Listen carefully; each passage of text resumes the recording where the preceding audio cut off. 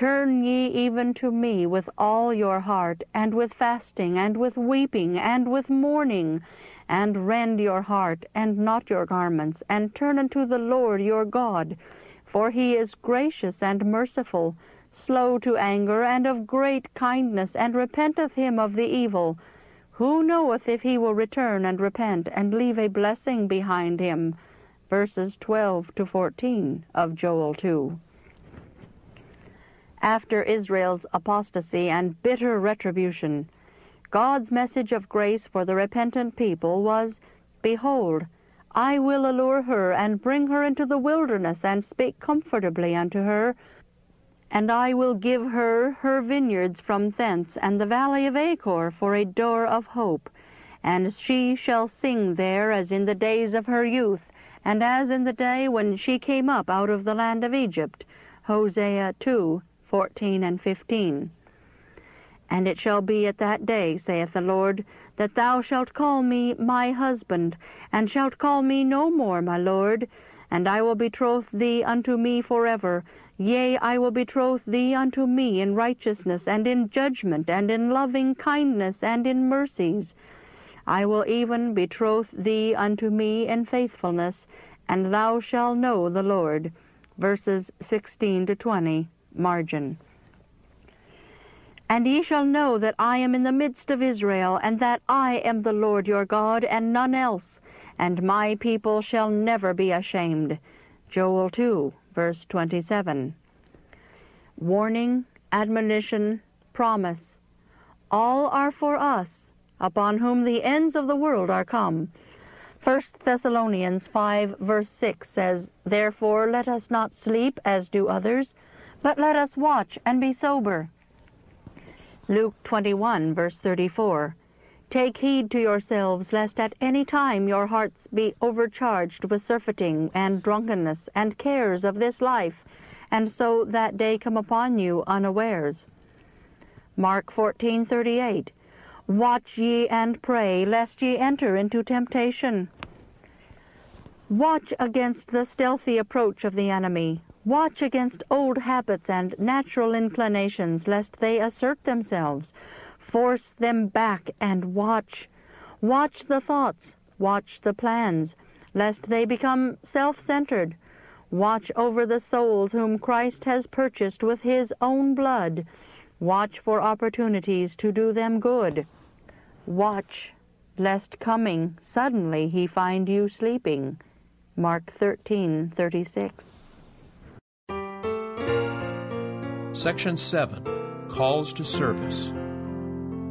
Chapter 1 Young Men in Ministry. I heard the voice of the Lord saying, Whom shall I send, and who will go for us? Then said I, Here am I, send me. There must be no belittling of the gospel ministry. No enterprise should be so conducted as to cause the ministry of the Word to be looked upon as an inferior matter. It is not so. Those who belittle the ministry are belittling Christ. The highest of all work is ministry in its various lines, and it should be kept before the youth that there is no work more blessed of God than that of the gospel minister. Let not our young men be deterred from entering the ministry. There is danger that through glowing representations some will be drawn away from the path where God bids them walk. Some have been encouraged to take a course of study in medical lines who ought to be preparing themselves to enter the ministry. The Lord calls for more ministers to labor in his vineyard. The words were spoken, strengthen the outposts, have faithful sentinels in every part of the world. God calls for you, young men. He calls for whole armies of young men who are large-hearted and large-minded, and who have a deep love for Christ and the truth. The measure of capacity or learning is of far less consequence than is the spirit with which you engage in the work. It is not great and learned men that the ministry needs. It is not eloquent sermonizers. God calls for men who will give themselves to Him, to be imbued with His Spirit. The cause of Christ and humanity demands sanctified, self-sacrificing men, those who can go forth without the camp, bearing the reproach. Let them be strong, valiant men, fit for worthy enterprises, and let them make a covenant with God by sacrifice. The ministry is no place for idlers. God's servants are to make full proof of their ministry. They will not be sluggards, but as expositors of His Word they will put forth their utmost energies to be faithful. They should never cease to be learners. They are to keep their own souls alive to the sacredness of the work and to the great responsibilities of their calling, that they may at no time or place bring to God a maimed sacrifice, an offering which has cost them neither study nor prayer. The Lord has need of men of intense spiritual life. Every worker may receive an endowment of strength from on high, and may go forward with faith and hope in the path where God bids him walk. The Word of God abides in the young, consecrated laborer. He is quick, earnest, powerful, having in the counsel of God an unfailing source of supply. God has called this people to give to the world the message of Christ's soon coming. We are to give to men the last call to the gospel feast, the last invitation to the marriage supper of the Lamb. Thousands of places that have not heard the call are yet to hear it. Many who have not given the message are yet to proclaim it. Again, I appeal to our young men. Has not God called upon you to sound this message? How many of our young men will enter the service of God not to be served, but to serve? In times past there were those who fastened their minds upon one soul after another, saying, Lord, help me to save this soul. But now such instances are rare. How many act as if they recognized the peril of sinners? How many take those whom they know to be in peril, presenting them to God in prayer and supplicating Him to save them? The Apostle Paul could say of the early church, They glorified God in me, Galatians 1:24. Shall we not strive to live so that the same words can be said of us? The Lord will provide ways and means for those who will seek Him with the whole heart. He desires us to acknowledge the divine superintendence showing in preparing fields of labor and preparing the way for these fields to be occupied successfully. Let ministers and evangelists have more seasons of earnest prayer with those who are convicted by the truth. Remember that Christ is always with you. The Lord has in readiness the most precious exhibitions of His grace to strengthen and encourage the sincere, humble worker. Then reflect to others the light which God has caused to shine upon you. Those who do this bring to the Lord the most precious offering. The hearts of those who bear the good tidings of salvation are aglow with the spirit of praise. Revelation 2 1 says, these things saith he that holdeth the seven stars in his right hand. The sweet influences that are to be abundant in the church are bound up with God's ministers, who are to represent the precious love of Christ. The stars of heaven are under the control of Christ. He fills them with light. He directs their movements. If he did not do this, they would become fallen stars. So with his ministers. They are but instruments in His hand, and all the good they accomplish is done through His power. Through them His light is to shine forth. It is to the honor of Christ that He makes His ministers greater blessings to the church through the workings of the Holy Spirit than are the stars to the world. The Savior is to be their sufficiency. If they will look to Him as He looked to His Father, they will do His works as they make God their dependence, He will give them His brightness to reflect to the world. Let those who are as stars in the hand of Christ remember that they are ever to preserve a sacred, holy dignity. They are Christ's representatives. Simplicity in Christ is the pure, sacred dignity of the truth. God's servants are to preach His word to the people. Under the Holy Spirit's working, they will come into order as stars in the hand of Christ, to shine forth with His brightness. Let those who claim to be Christ's ministers arise and shine, for their light has come, and the glory of the Lord has risen upon them. Let them understand that Christ expects them to do the same work as He has done. Let them leave the churches that know the truth and go forth to establish new churches, to present the word of truth to those who are in ignorance of God's warning message. The number of workers in the ministry is not to be lessened, but greatly increased. Where there is now one minister in the field, twenty are to be added. And if the Spirit of God controls them, these twenty will so present the truth that twenty more will be added. Christ's dignity and office work are in imposing such conditions as he pleases. His followers are to become more and more a power in the proclamation of the truth as they draw nearer to the perfection of faith and of love for their brethren.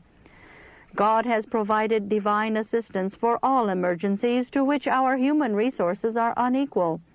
He gives the Holy Spirit to help in every strait, to strengthen our hope and assurance, to illuminate our minds and purify our hearts.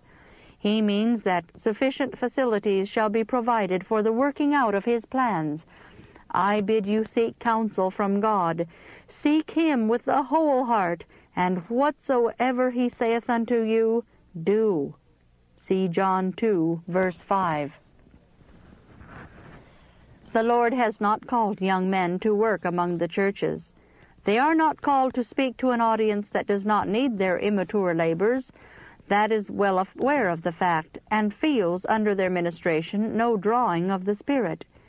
Let the young men of ability connect with experienced laborers in the great harvest field. Very many will succeed best by beginning with the canvassing work and improving the opportunities afforded them for the gospel ministry. But let none become shadows of some other man. Let them not become mere machines to grind out certain subjects by human dictation. No sermon is to be planned out for them to preach where they go.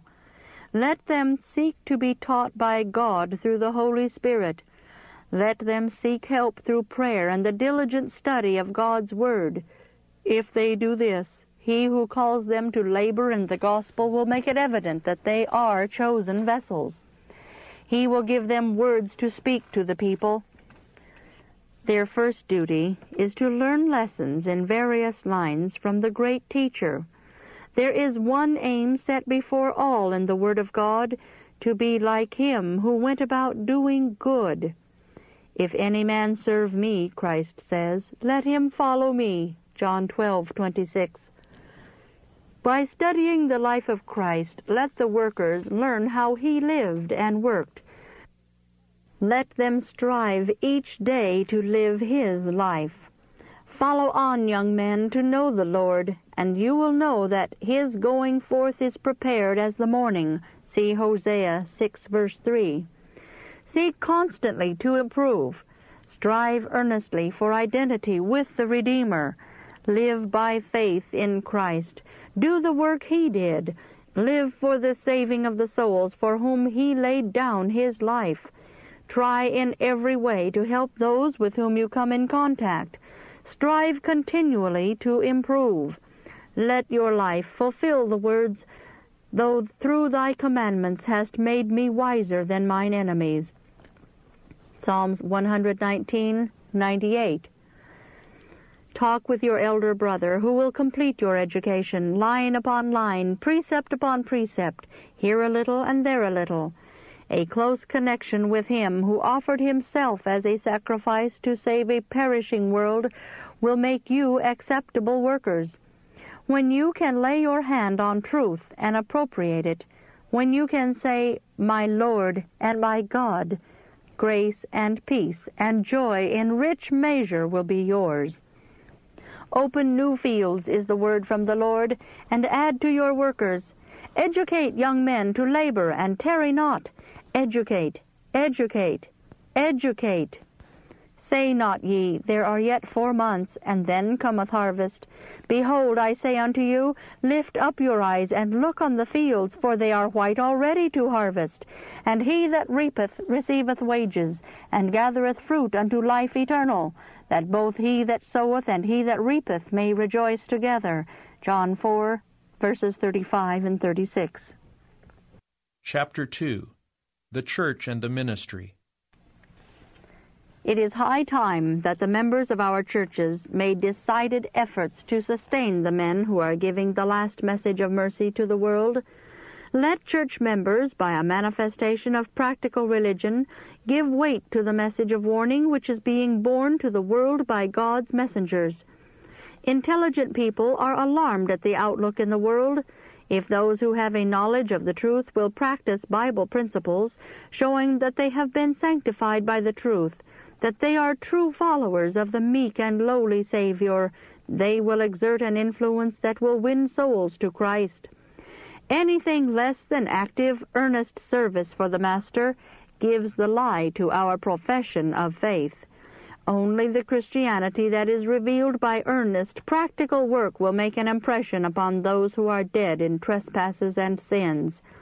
Praying, humble, believing Christians those who show by their actions that their greatest desire is to make known the saving truth which is to test all people, will gather a rich harvest of souls for the Master.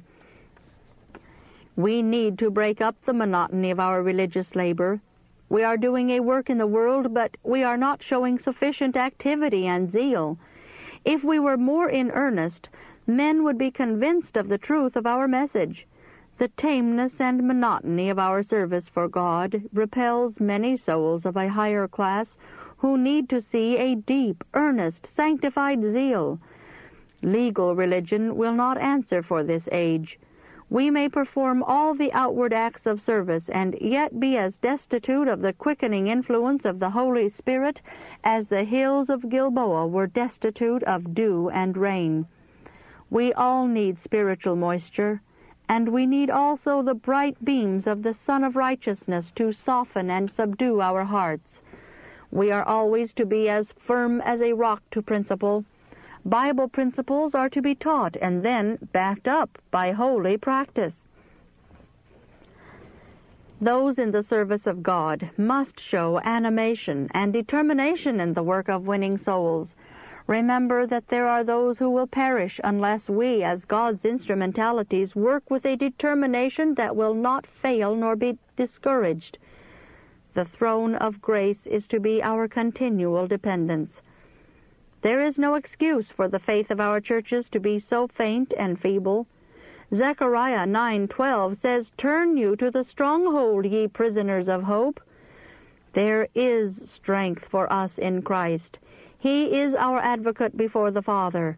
He dispatches his messengers to every part of his dominion to communicate his will to his people.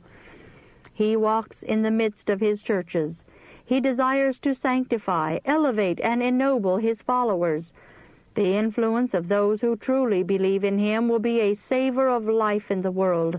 He holds the stars in his right hand and it is his purpose to let his light shine through these to the world.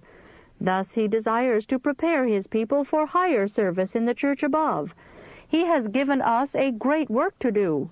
Let us do it with accuracy and determination. Let us show in our lives what the truth has done for us. Who walketh in the midst of the seven golden candlesticks. Revelation 2 1. This scripture shows Christ's relation to the churches. He walks in the midst of his churches throughout the length and breadth of the earth. He watches them with intense interest to see whether they are in such a condition spiritually that they can advance his kingdom. Christ is present in every assembly of the church. He is acquainted with everyone connected with his service. He knows those whose hearts he can fill with the holy oil, that they may impart it to others. Those who faithfully carry forward the work of Christ in our world, representing in word and works the character of God, fulfilling the Lord's purpose for them, are in His sight very precious. Christ takes pleasures in them as a man takes pleasures in a well-kept garden and the fragrance of the flowers he has planted.